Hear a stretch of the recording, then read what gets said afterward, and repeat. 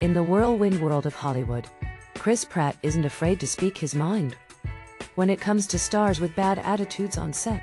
In a recent panel for his latest film, Netflix's The Electric State, Pratt emphasized the importance of a positive mindset in the movie making business. He made it clear that there's simply no room for negativity, stating, You can't have a bad attitude in movie making. It ruins everything for everyone and then you don't last long.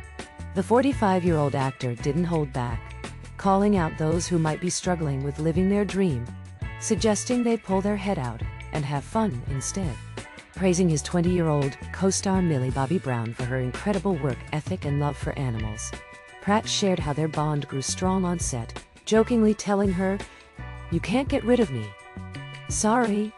The film, based on a graphic novel by Simon Stålenhag, and directed by the Russo brothers, promises an exciting storyline with a talented cast, including Ke Huy Quan and Stanley Tucci. After Electric State, the Russo brothers are set to return to their Marvel roots, directing upcoming films Avengers, Doomsday and Avengers, Secret Wars. Zoe, do you agree with Chris Pratt's stance on bad attitudes in Hollywood?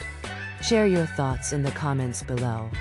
And remember, if you enjoyed this news, please like the video and subscribe to the channel to not miss any updates. Stay tuned for more exciting updates in the world of entertainment.